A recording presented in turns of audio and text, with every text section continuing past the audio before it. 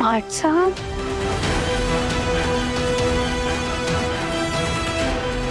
Mart साहब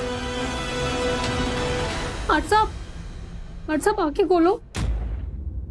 क्या हुआ इन्हें? इनकी गाड़ी पानी में डूब गई थी।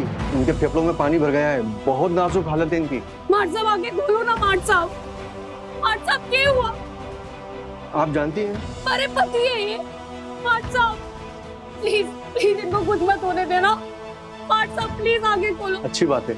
कम से कम इनकी पहचान वाला कोई तो मिला यहाँ पे। आप यही रुकिए।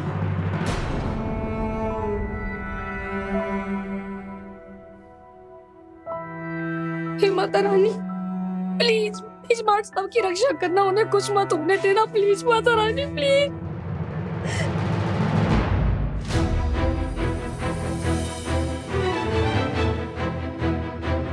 फालतू।